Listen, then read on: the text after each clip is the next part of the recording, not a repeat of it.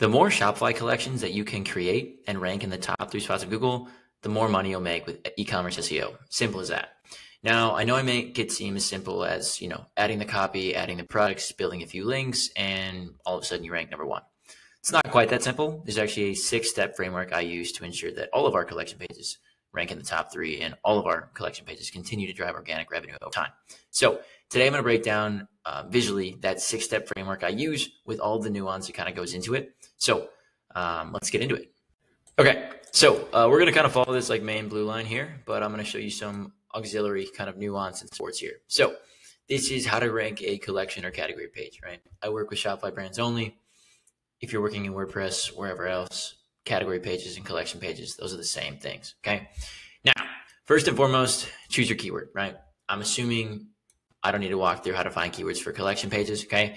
Things to consider though keyword difficulty depends who you are, right? If you're a huge brand, keyword difficulty is pretty, pretty useless to you because you can rank for pretty much anything. But for most brands, it's like less than 40 KD, whether you're looking at Ahrefs or SEMrush, is like pretty doable, even if you're like a fairly new site. Okay. That's like kind of where I like start my limit of searching, even if like a brand's been around for a couple years. Like 40 is doable. 40 is pretty doable. Anything less than doable. 50, you're kind of like, you're getting into a gray area. Okay. Verify the search intent. Again, just like Google the actual keyword, make sure, make sure there are collection slash category pages showing up in the top three to five results, right? If you Google a keyword and you think it's for a category page and all of a sudden it's a, like the top three results are, are product pages or the top results are blog posts, like doesn't matter. Category page won't rank no matter if you follow the rest of this framework or not. Okay. And then um, hypothesize conversion rate. Again, like if you, I always use the protein powder example. I'm gonna use it again. But like if you are like a vegan protein powder company, for example, and you are your goal is to rank for protein powder, you have to assume that people looking for protein powder aren't also looking for vegan protein powder there's a very good high, there's a very high likelihood that if you even if you were to get to the number one spot, which is unlikely, even if you were to get to the number one spot, like 99.9% of the people that land on that page are going to bounce right away. So actually think about like the keywords you're targeting, make sure like you actually could sell to those people. Don't just rank it. Don't just like try to rank it just because, right? If your conversion rate is going to be near 0%, don't even bother with the rest of this video. Okay. So choosing keyword, step one should be pretty straightforward. Now, optimize your collection slash category page, right? I put a few videos up on this. This is like my collection page kind of framework, right? Um, main nav, H1. Um, you can use a banner image, but honestly, it's optional. Short description, about 75 words or less. Target keyword should be um, in the short description, ideally front loaded. Again, product grid here, and then H2 with three H3s, each with about each with about 100 to 150 words of copy of descripting descriptive text under each H3. H3 should be unique selling points, right? I've done a video on this. So I'm not going to cover this extensively. Um, and then internal links, which I'm going to get to in a second. Okay. So that is optimize your collection page. That is what it should look like. The copy can all go the bottom. You can split it. I wouldn't put it on top, but like that's basic framework. Okay. Again, go watch uh, my channel for that. Next up, build internal links. Okay. Now, just one note on this, like Google is getting really strict about how many pages they're crawling on your site, even big sites we have like a DR 55 or 60 ecom brand we work with, and like we publish like 10 collections and blogs. None of them got indexed. So we had to run it through an indexing tool. So you're going to publish like 100 collections, for example, find an indexing tool that works and run them, like run the pages as they go live through that tool. Otherwise, the collections will probably just sit in, in like not crawl or they may get crawled. They won't get indexed though for like months if you just never actually force it. Okay. So that's first thing. Now, build internal links. Two ways to go here. Um, from supporting blogs, I've talked about this internal link framework pretty extensively, right? But like here's a collection here in the center. Um, this one, again, you should be linking to it from supporting collections, from blogs, right? All the links are funneling into that. At the end of the day, if you do this right, you, your collection pages will have more internal links than any other pages on your site, which should make sense. That will indicate to Google that they are indeed important. And of course, pages with more links rank higher. Simple as that. So that's supporting blogs, pretty straightforward. From similar collections, again, I talked about over here. Again, like I just build like a basic text menu in um, for this, like shop similar collections. Um, I've done a previous video on internal linking with collections. Gymshark does a good job, and I'm actually going to use them as an example in the next step here. Uh, but they do a really good job of internal linking, and it's something I'd recommend you implement, especially if you've got a big product catalog and or you have a lot of collections. Okay. So that's internal links, basically two things to follow, similar collections and sporting blogs. Okay, now add to the homepage and to the main menu. You build 100 collections, you're probably not going to add them all to the main menu, right? I would assume you're not, unless you're like Amazon, you're going to go just like mega menu type deal. Um, but again, considerations. You need to consider the link slash like crawl depth um, of a page. Okay. Ideally, if you want to rank a page, a new collection or an existing collection on your site, it needs to be within one to two clicks of the homepage, three at the maximum. Anything below that, like you're going to struggle unless it's like a super weak SERP. Okay. Like if you go four or five clicks from the homepage, unless it gets like 10 searches a month and it's like a really weak SERP, like that page is going to rank. Okay. So I'm going to talk about an example of this in a second. Okay. But like, should you add to the homepage? Should you add to the main menu? Okay.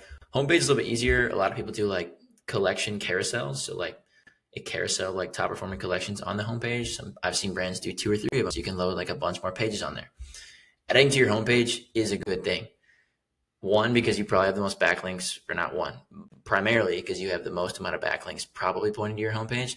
And so if a collection is linked from there, it's getting a lot of the link equity or link juice passed directly to it from the homepage. Okay. Now to the main nav again, like similar similar deal, right? It's linked from pretty much all the pages.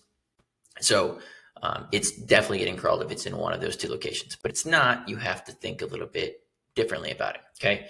So let me show you Gymshark for a second.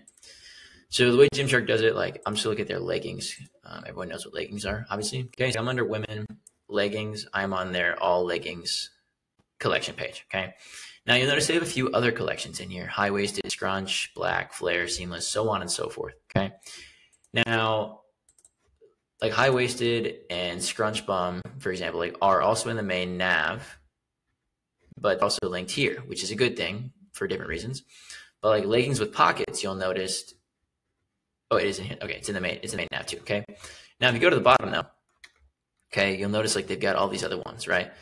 So they have like black seamless, brown leggings, squat proof, cropped, high waisted seamless, pink, right? You'll notice like none of those are in the main nav. Okay.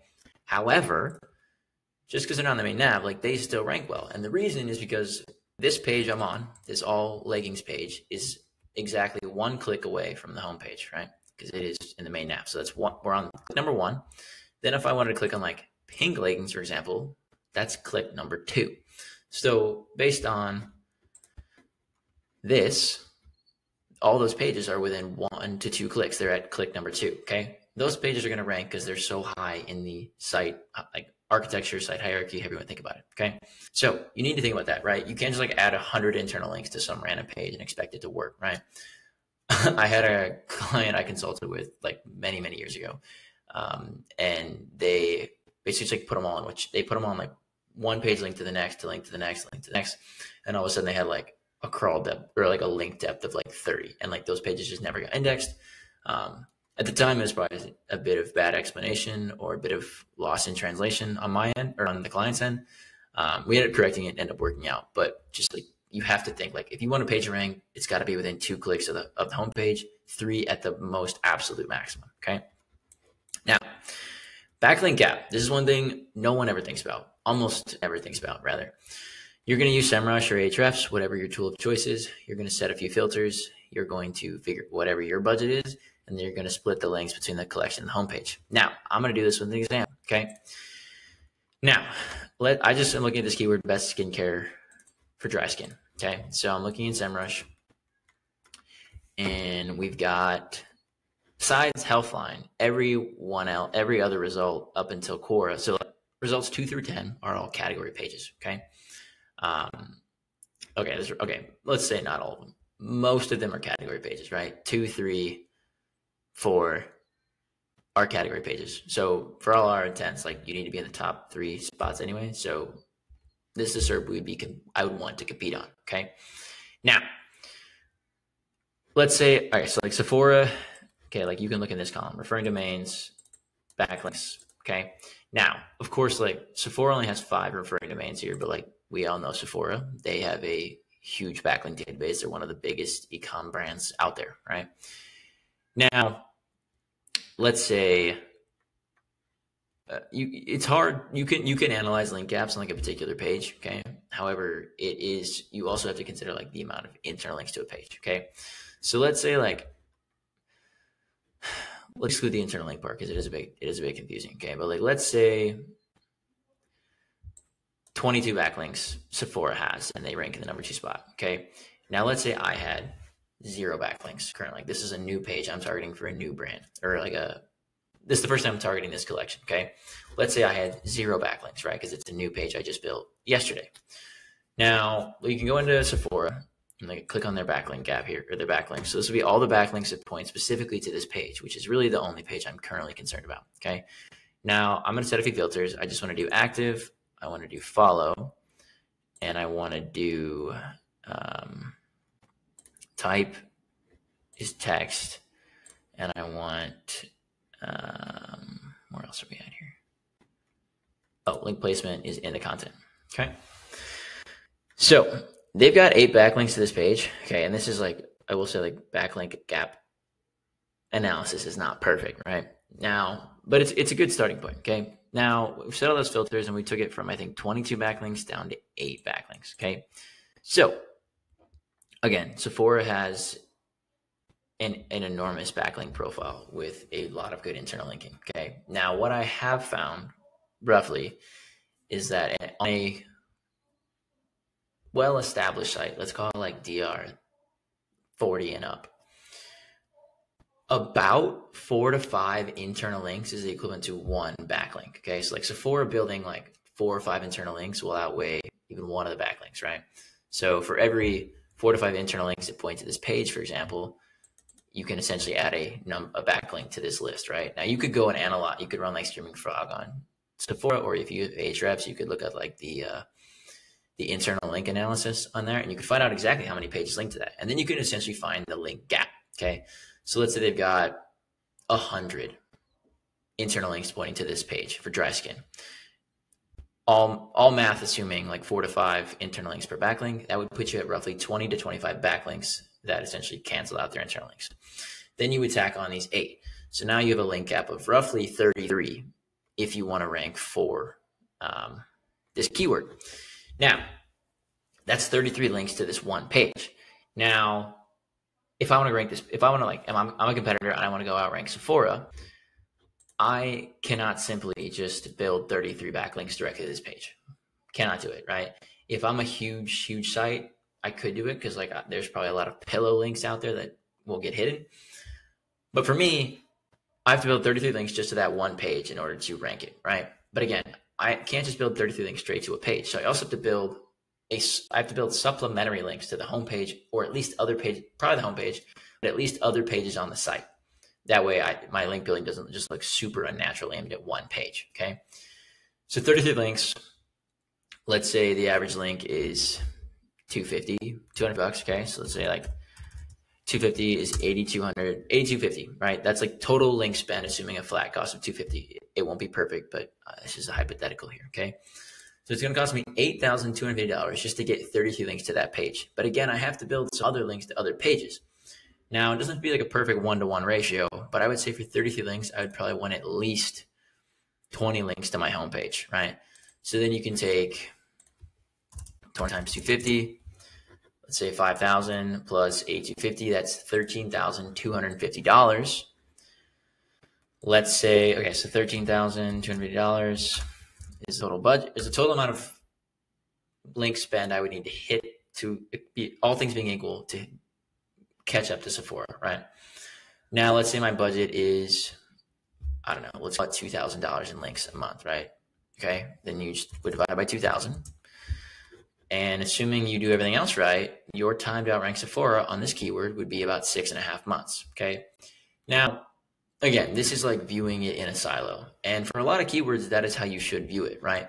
But if you do a really good job of building internal links across your site, you build a lot of homepage backlinks, all the other stuff right, the timeline is actually likely, likely going to be faster than this. Okay. But it is a good like frame of reference. Okay. So now I know like, okay, six and a half months to catch Sephora on dry skincare.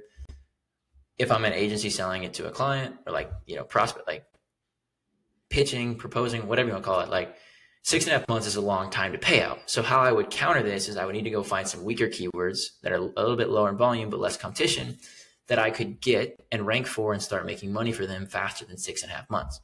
Reason being is most clients are not just going to hang around for six and a half months waiting for maybe to be in the number one spot, right? You have to get results faster than that. So for me, I'm just going to go find some combination of keywords that target both skincare and dry skin. And I'm going to go win those in the first two, three months on the way to this, let's call it the summit about ranking Sephora. Okay. So backlink gap is like, it, it's not a perfect system, but it's, it gives you a good idea, timeline, roadmap, cost, things of that nature. Okay. So that's that.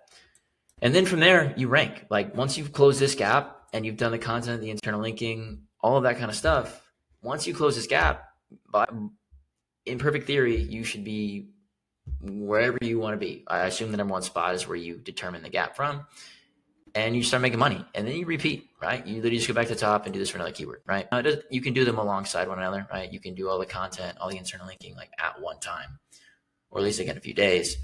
The backlink stuff will be ongoing, right? It'll depend on your budget, all that kind of stuff. But if you're very like deliberate about your backlink budget, like this is how this will work. Okay. So Backlink gap is like the one thing people don't talk about enough. Same with like crawl depth on collection pages. But if you want to actually rank a collection page for a very competitive but also profitable keyword, this is the six step system you need to follow.